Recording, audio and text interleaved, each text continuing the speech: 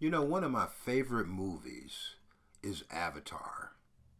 I really love that movie. And not because of its content and not because of its plot, but I love it because of all the visual stimulation. Those things really got my imagination flowing.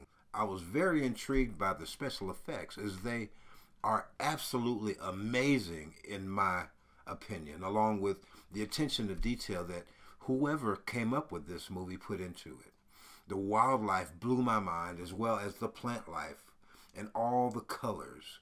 Never in my wildest imagination would I, in my wildest dreams, would I have been able to not only come up with that type of visual art, but also the geography that they developed in the making of this animation was stunning and awe inspiring. I was blown away. What an imagination on the writers and the visual effects team. All I could say was, wow. And so, looking at all that visual stimuli and letting my mind wander, it made me think of 1 Corinthians, the second chapter, the ninth verse, where it says, Eye hath not seen, nor ear heard, neither have entered into the heart of man the things which God hath prepared for them that love him. So this scripture is inspirational in itself, but when I look at it in its complete context, it refers to man's ability to hear from the very Spirit of God and for God to communicate in a way that is unlike any other, as He is our Maker. And it gives us insight on not only the things that belong to the spirit world, but the earthly plane as well. So that means that we, by the Holy Spirit, have access to knowledge that under any other circumstance we wouldn't be privy to. And we're going to see how awesome God is and the reaction of his presence as witnessed by some of our favorite people in the Old and the New Testaments. We're going to see the amazingness of God. And we're also going to get some insight on some things I believe God is trying to show us, along with the revelation of exactly who he is as a person, what he stands for, and who stands in opposition to him right here on Word on the Street with JP. Don't you touch that dial. Don't you, don't do it.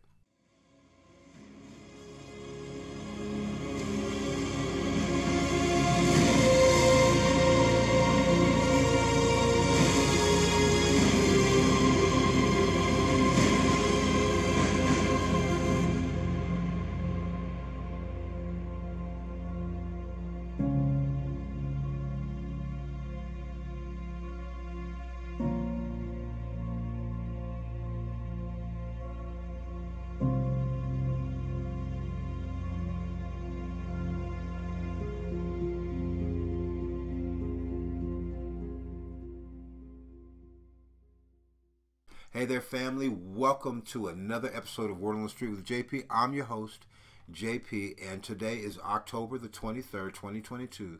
And on today's broadcast, we're going to find out who God is as a person. We're going to explore our imagination to see how magnificent He has shown Himself to be, even now not only in our lives, but through the scriptures. We'll see his personality through his grace, as well as through his patience and his love for us.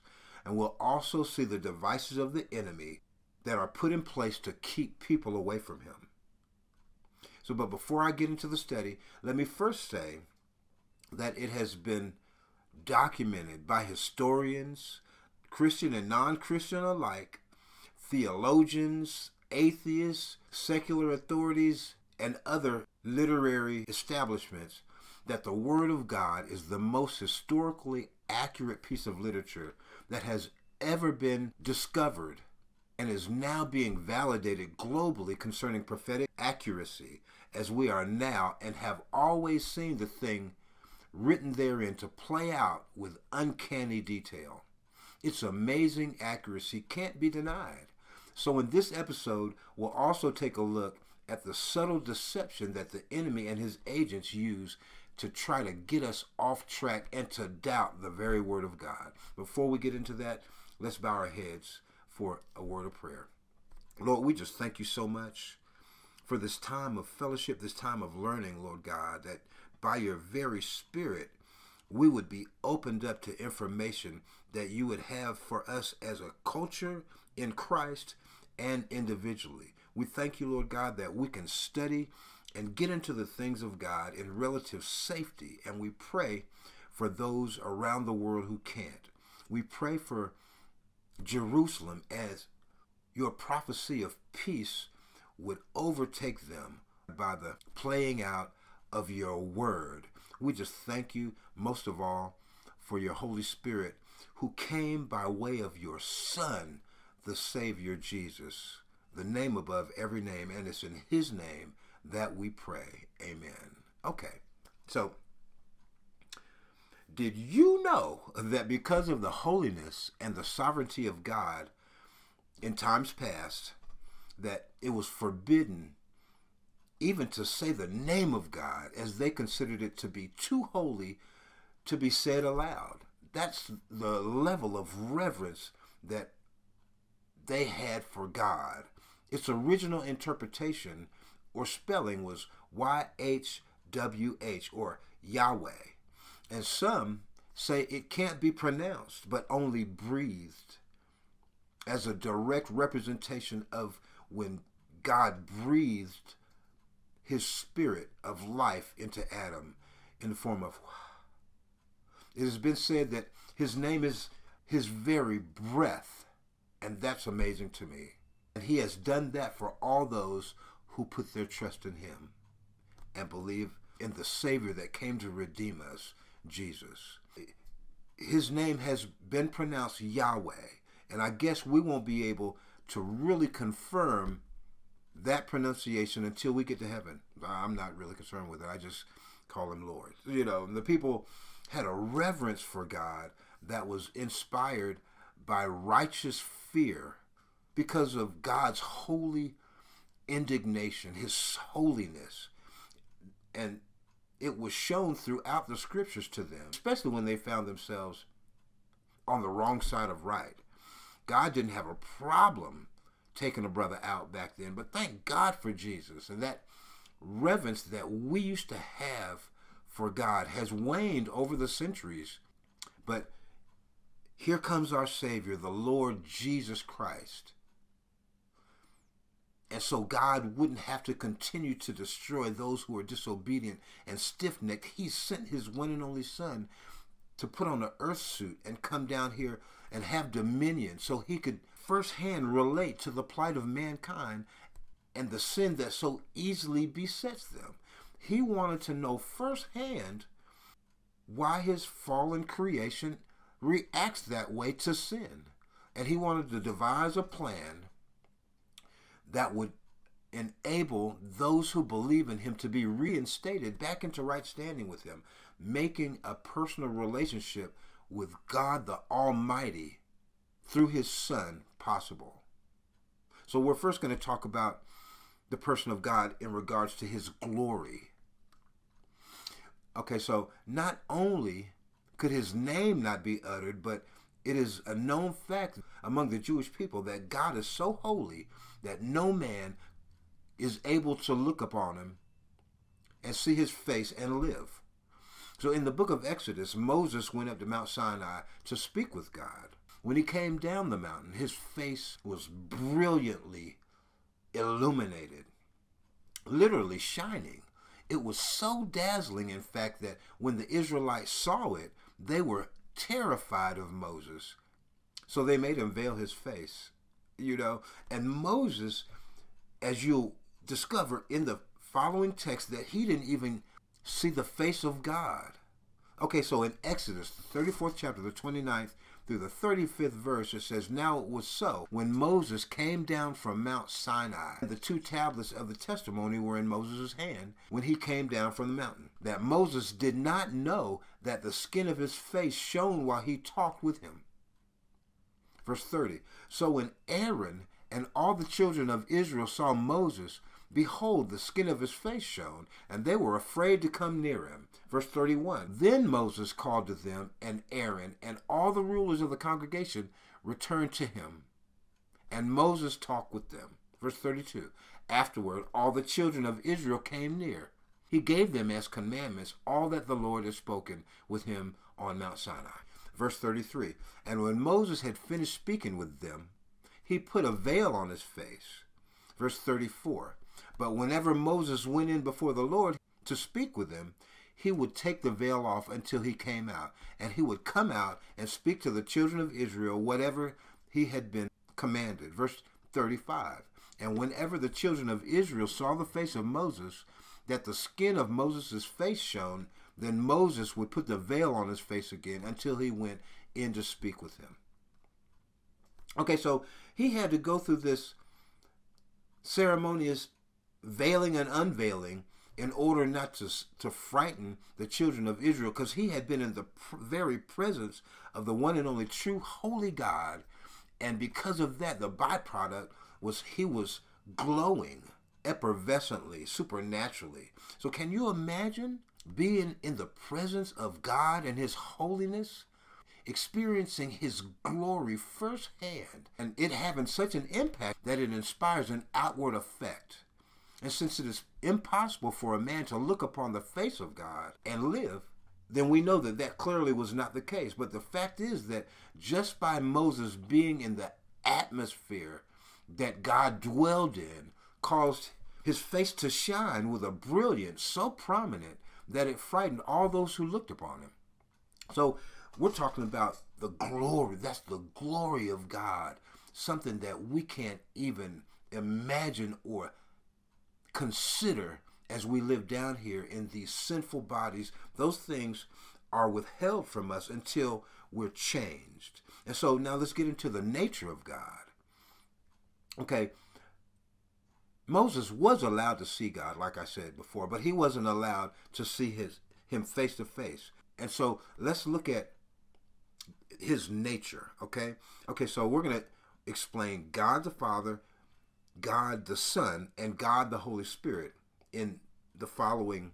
So, God through Jesus is the one upholding all things by the word of his power. I didn't say by the power of his word by the word of his power. So this indicates that God's power needs containers to dwell in in order for it to be delivered to the destination in which he sends it. And those are called words.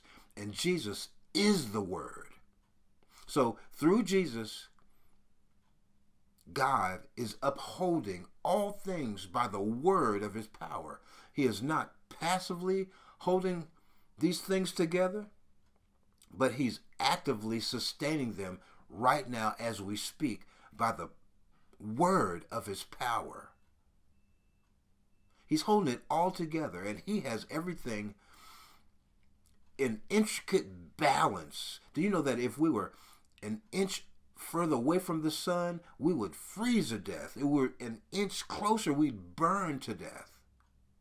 So those things that are visible and invisible, God, by his Son, upholds them, who is the Word of God. So in the book of Exodus is where we can see the very nature of God and how he, if we consider all his power, how he with Moses interacted. And so you're talking about the God of limitless power interacting with his creation on a friendship level and so to the point where he made a concession for one of Moses' requests, and Moses' request was that he see him. It says in Exodus 33, the 18th through the 23rd verse, and he said, Please show me your glory.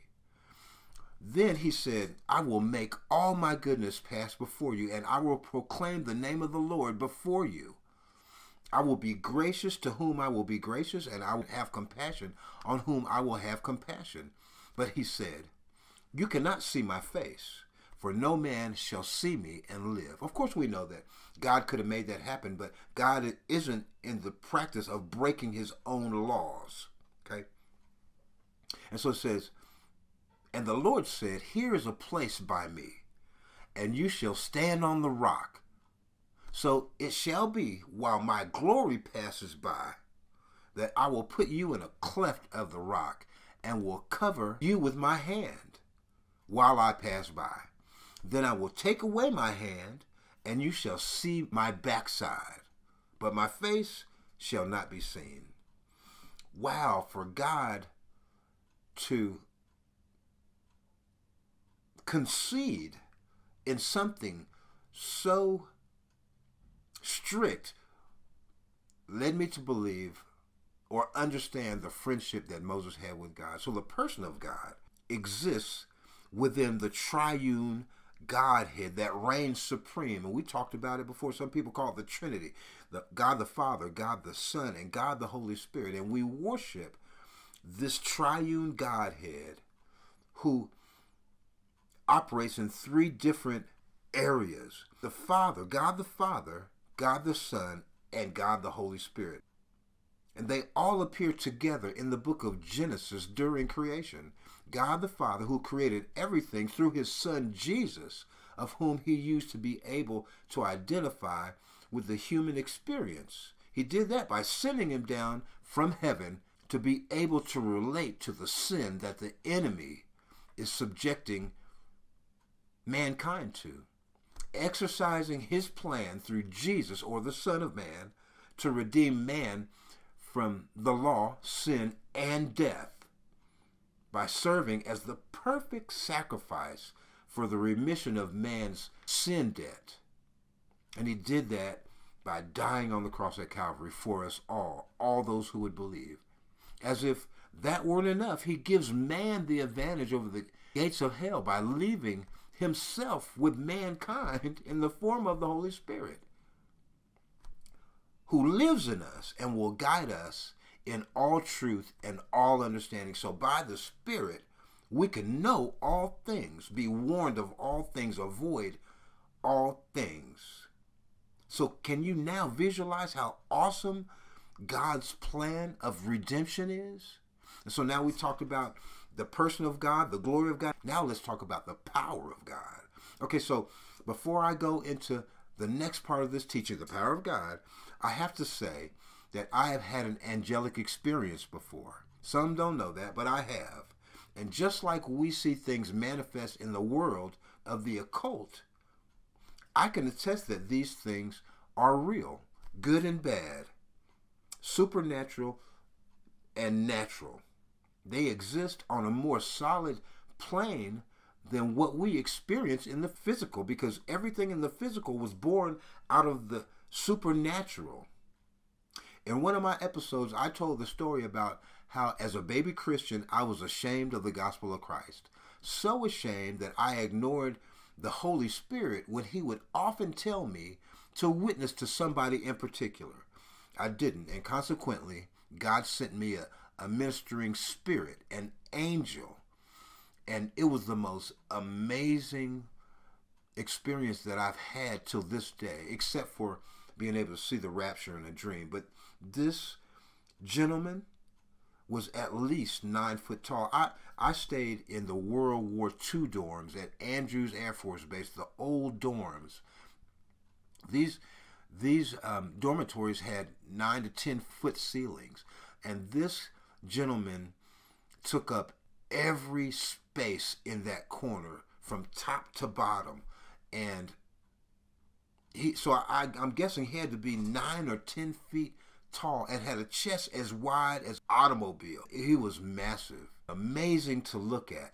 The first split second of me focusing and being able to see this gentleman, I was horrified. Horrified in the sense of realizing that we're sharing the same air, you know, but when he spoke to me without saying a word, I knew what it was and the fear immediately left me and the wonderment of being in the presence of this mighty being was overwhelming but calming. To know that God loved me so much that he didn't send his messenger to punish me, but to minister to me. I was awestruck to realize such a powerful being had immense power. They had this reverential fear of God. And that gave me some indication of how limitless the power of God is. The angels stand in heaven. The angels stand in constant recognition of God's unlimited power and holiness. there have been many stories over the years about God's unlimited power, and it is often conveyed by an angelic presence and their reaction to God.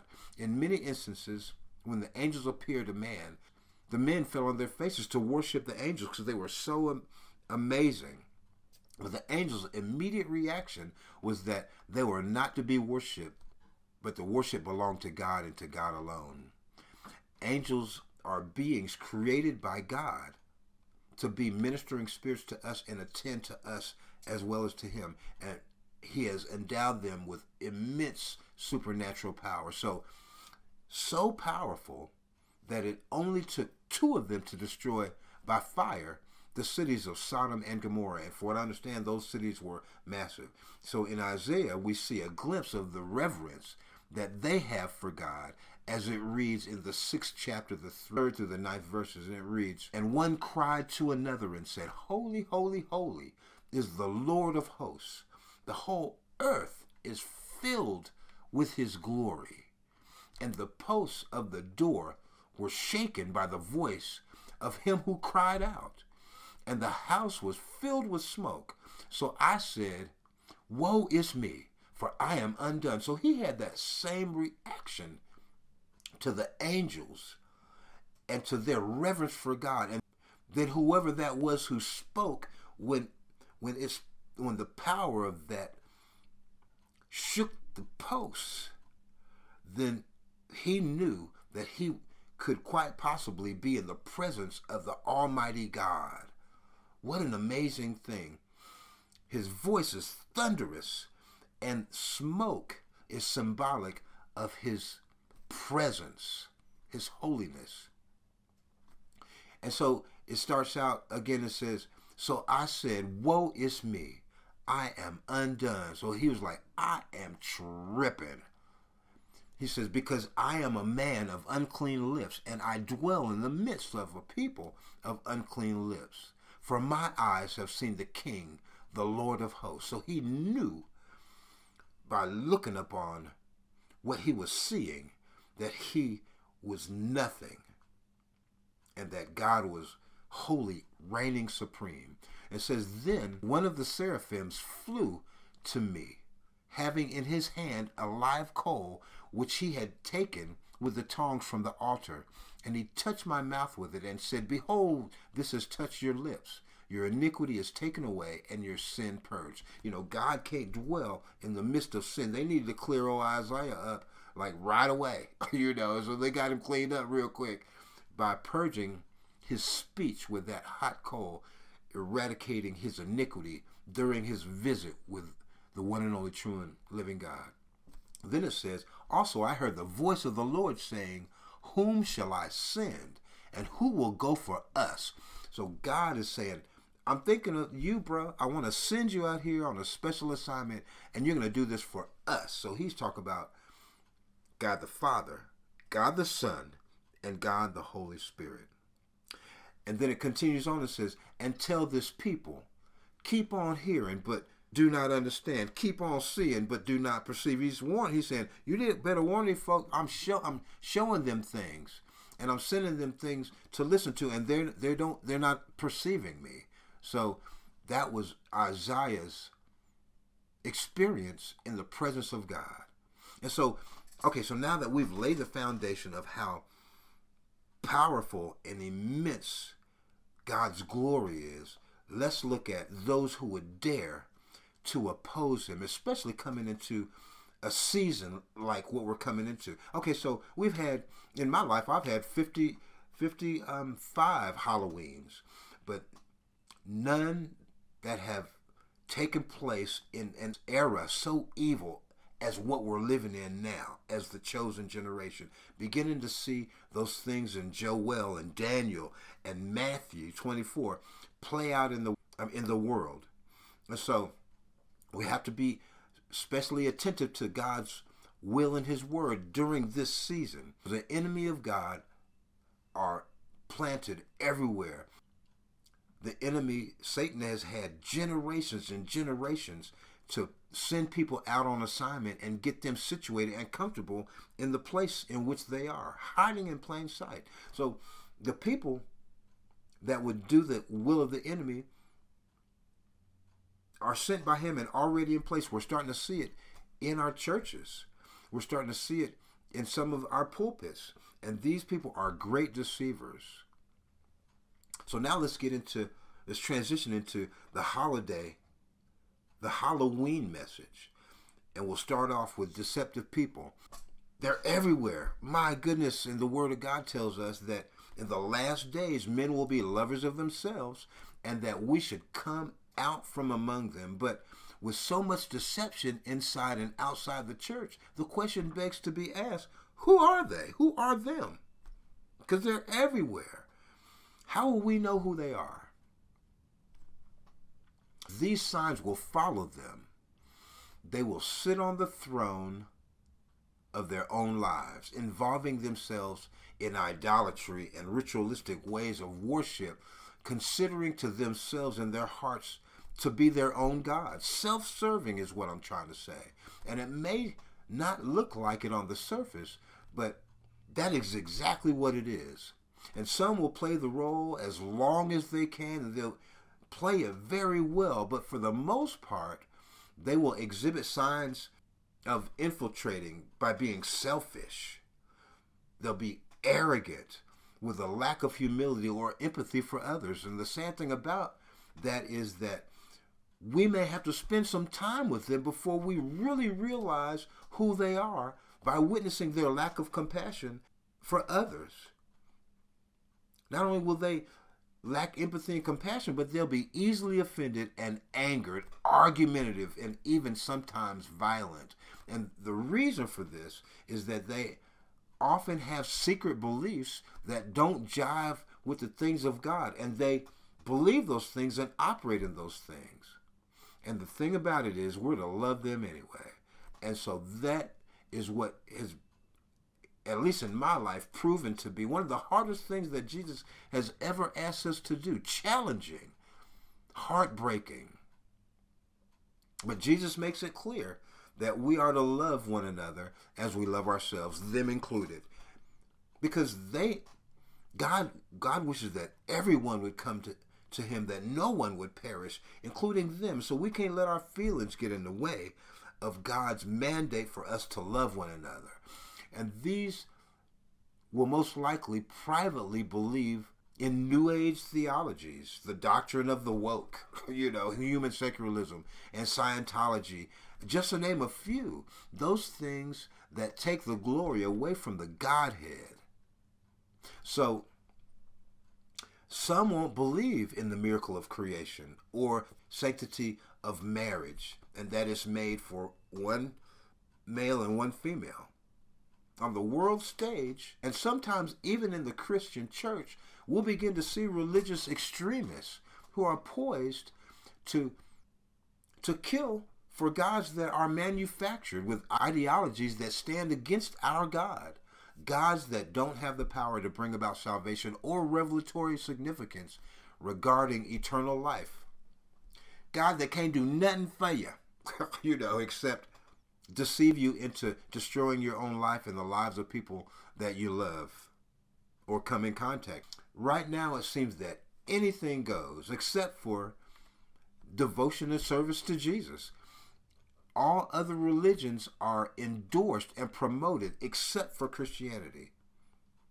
These other religions and people that bring those things into the body of Christ are bringers of confusion and they're meant to divide and conquer. And then you've got the worship of dead relatives, trees, animals, the earth, and nature. Worshiping the creation rather than the creator people defaulting to the deifying of other things rather than the one and only true and living God, worshiping the created, like I said, rather than worshiping the creator. Things are getting absurd.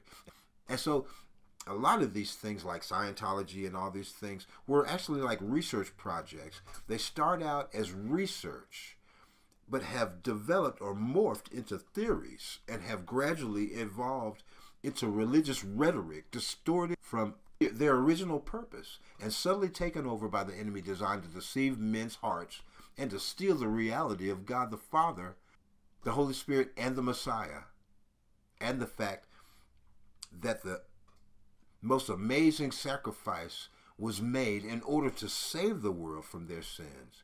And that sacrifice was made by our Lord and Savior Jesus. And so we're getting into, we're seeing a lot of self worship happening in the world and in the church. And we've fallen a great deal in the past decade or so. And now it's in your face. And the world is in rough enough shape as we see evil beginning to be unleashed like never before. Unprecedented levels of evil that are acceptable. If having to deal with deceptive people in the church wasn't bad enough, people are involved in blatant self worship with no regard for who they hurt, you know? And there it's in your face. All sorts of strange doctrines showing up and have come out onto the scene and are becoming more valid regarding many people's lifestyles rather than continuing on in the sacrificial Judeo Christian worldview. You see, it's just more comfortable to worship this way or that way. And some even say being a Christian doesn't take all that. But I assure you, it does, according to the Word of God. So we adopt additional practices and beliefs to go along with the gospel that is more accommodating to those operating in alternative lifestyles with almost no one in place to hold those who belong to the body of Christ accountable to the things of God.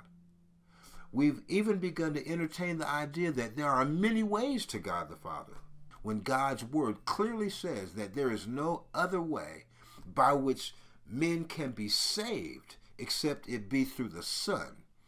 The Lord Jesus, our Christ, is the only way to God the Father. Then we find that some like a little occult mixed into their Christian lifestyle doing things like the burning of incense and burning of sage in order to clear your space of strange spirits and subscribing to this chakra or that chakra in search of inner peace or enlightenment. Man, y'all better get it together and get with the Holy Spirit. He is the only thing that can bring you those things while you're living in this earth suit. And some even find that casting a spell every here and there is okay in order for you to get either this or that all the while entertaining that which is not of God. I've seen it in our young people. I'm just like, what? And we'll pray with you. You know, the Word of God says that these strange doctrines are deceptive and are the work of the enemy and known by many cultures as, here we are, witchcraft. The sad thing is that we're finding a lot of our young people believing in these sorts of things.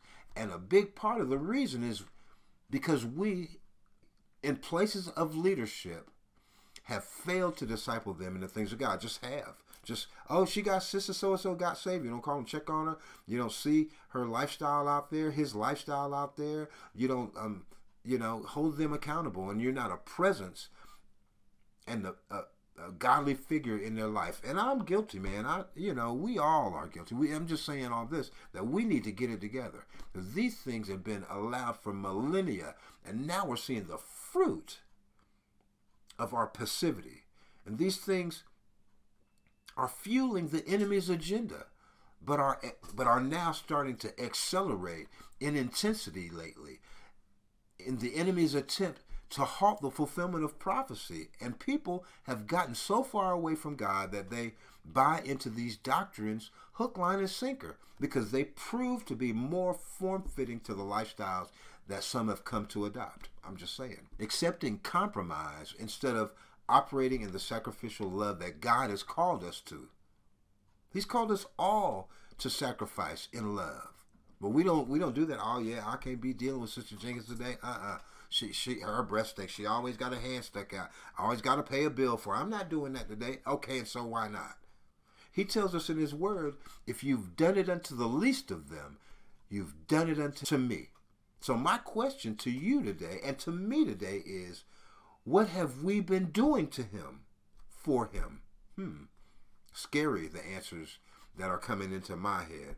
And so, as we move into this holiday season, we have to be prayed up and be in the ready position to take on any evil that may rear its head because it's a coming.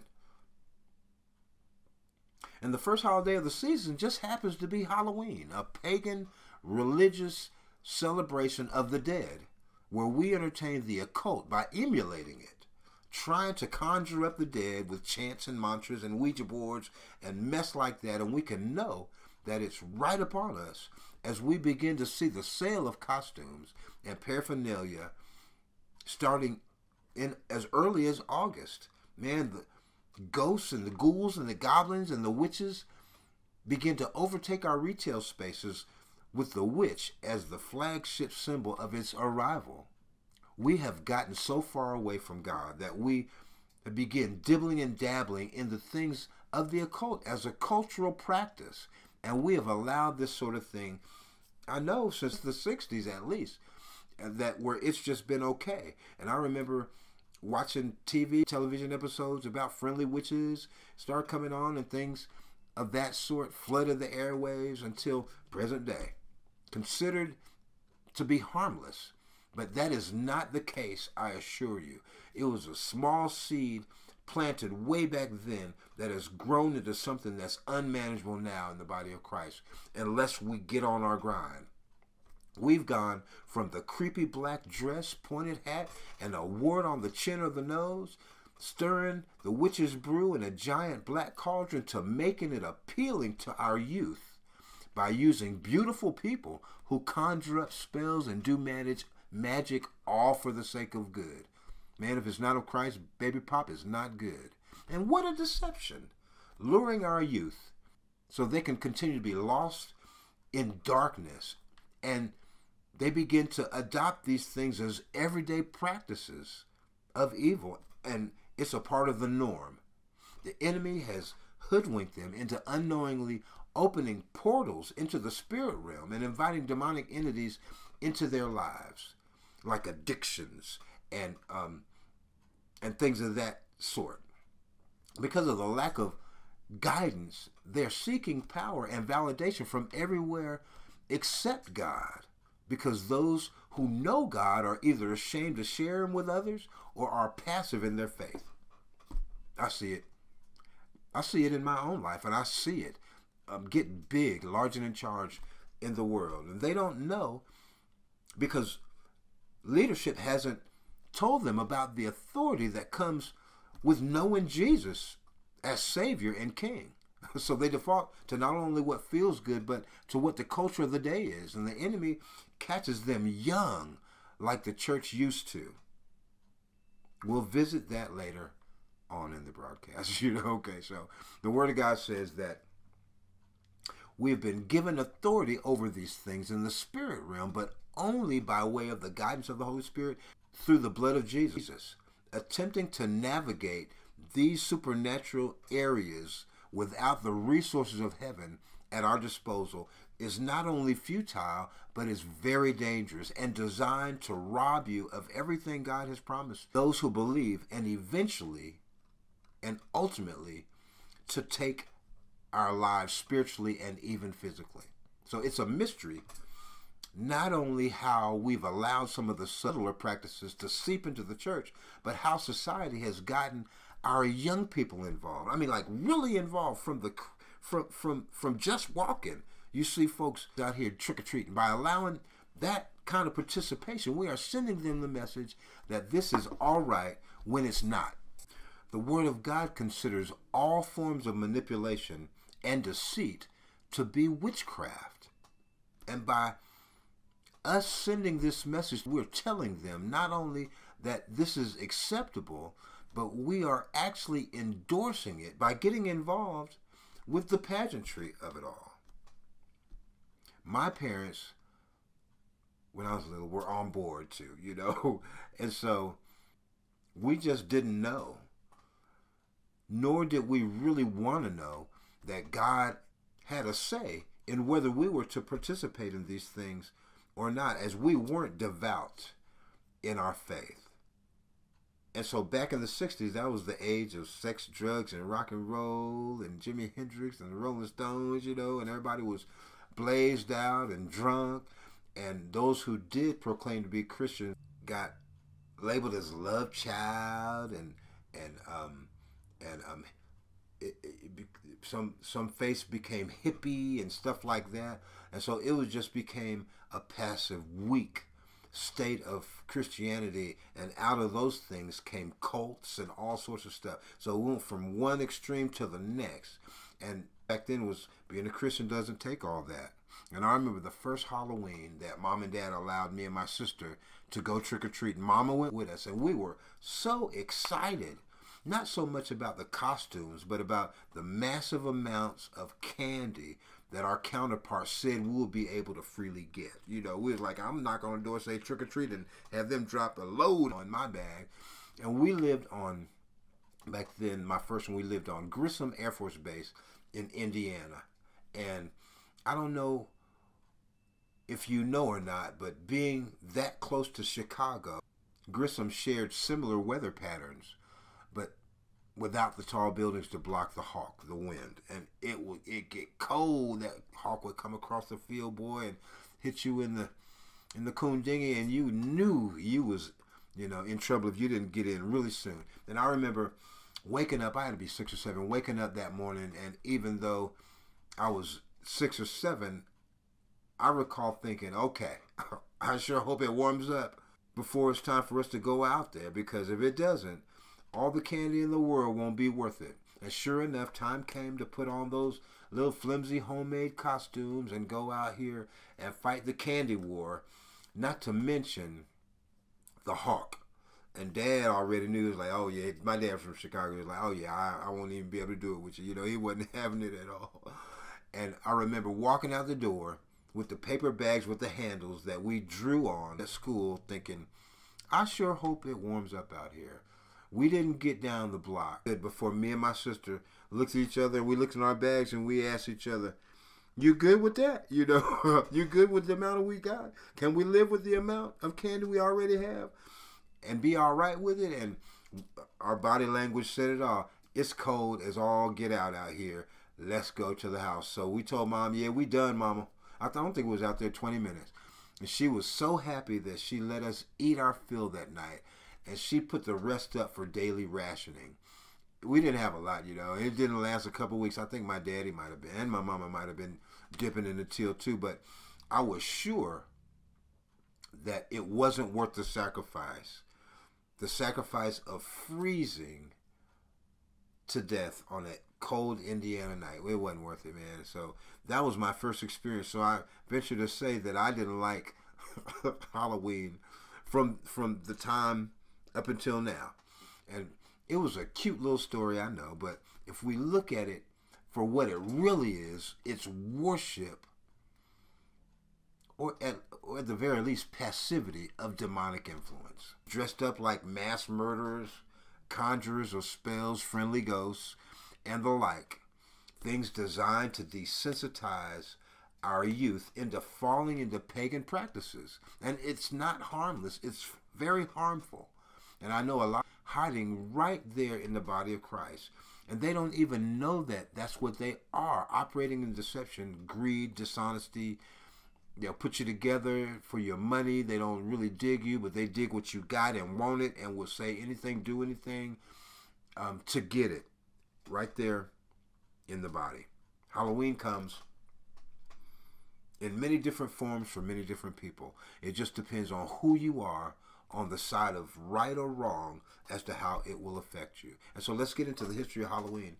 Um, Halloween comes from the Gothic Celtic pagan practice of Samhain. It, Samhain is celebrated as the belief that the dead would revisit the earth during this holiday period, welcoming demonic entities back into the earthly plane, opening the veil that separates earth and the demonic realm. So, in the festivities are included and still are practiced and considered to be the most favorable time to effect divinations concerning health, wealth, marriage, and death. The opposite of the miracles of Christ. They, so they're looking to the demonic realm to affect positive change when that's never going to happen. Supernatural occurrences are made visible during this time to those who open themselves up to it.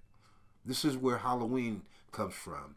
In Satanism, the high holy day is celebrated on October 31st or Halloween. So you know there's an uptick in supernatural evil activity during this time. Why would you have little peoples out there? So in essence, we have a lot of ignorant believers honoring a pagan culture that has absolutely nothing to do with our spiritual growth in, in Christ. And when I say ignorant, I don't mean stupid.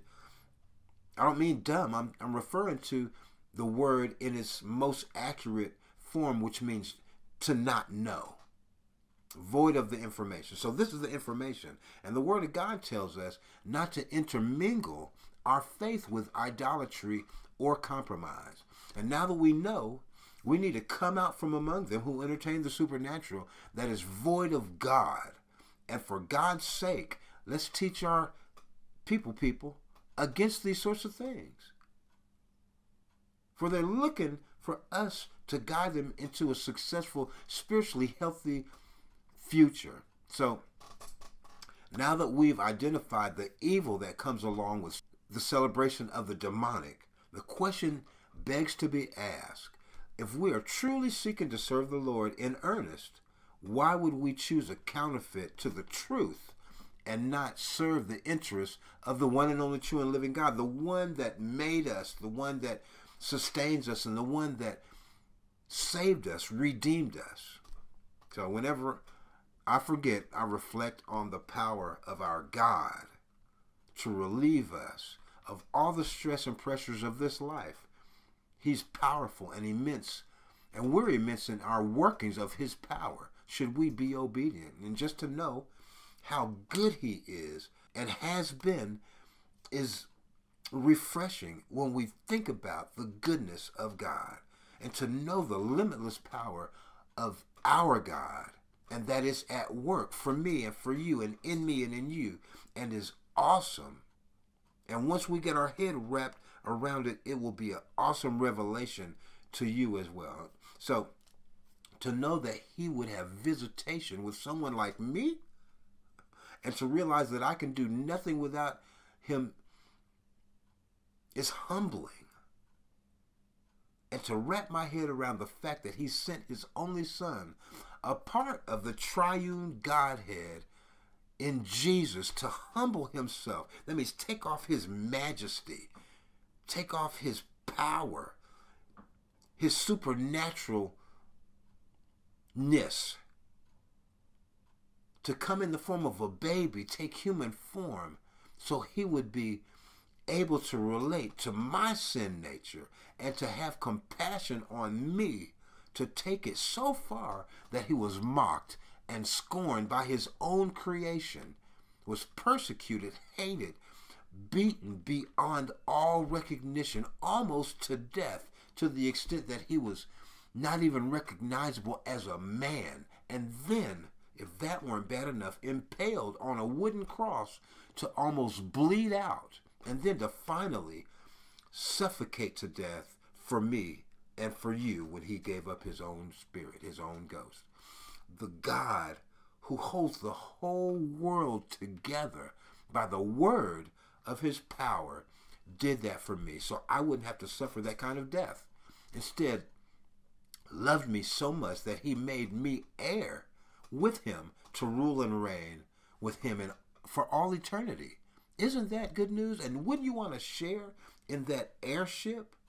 So I realize how amazing eternity will be with Jesus and how, just like how God can open up our imaginations in the form of that movie Avatar, He is going to blow our minds when we finally get to see all the amazing things He has prepared and has held in store for us in heaven. So choose Jesus today. And if you realize that you've been dabbling and dibbling and dabbling in some sort of idolatry, pagan practice, you considered it harmless, or you just out and out a professing witch or warlock, and you see how fruitless your past has become, I beg you this day not to let the frivolousness and the rhetoric of the enemy stop you from being set free from the bondage of idolatry and demonic influence, and from spending all eternity with the one who loves us most, Jesus. I remember um, there was a movie that I watched called um, American History X, and the the school counselor asked this ex um, white supremacist who was serving time. He says, "Has anything that you've done made your life better?" And that was the turning point. The the white supremacist turning his life around. So ask yourself the question: Has if you're living that sort of lifestyle, is anything that you've done made your life better? So, I know this message was for somebody, and I want to invite you to a new way of life, a life with the Lord. So, if you want to dedicate yourself or rededicate yourself to Jesus, the true source of power, our Redeemer, the name appointed by God the Father above every name, who sent us the Holy Spirit not to be alone and to know all truths and understanding. So much He loves us. I invite you to say this simple prayer after me if you want to know Him. Lord, I know that I'm a sinner in need of your forgiveness and your salvation. I believe that you sent your one and only Son, Jesus, to the cross to pay my sin debt.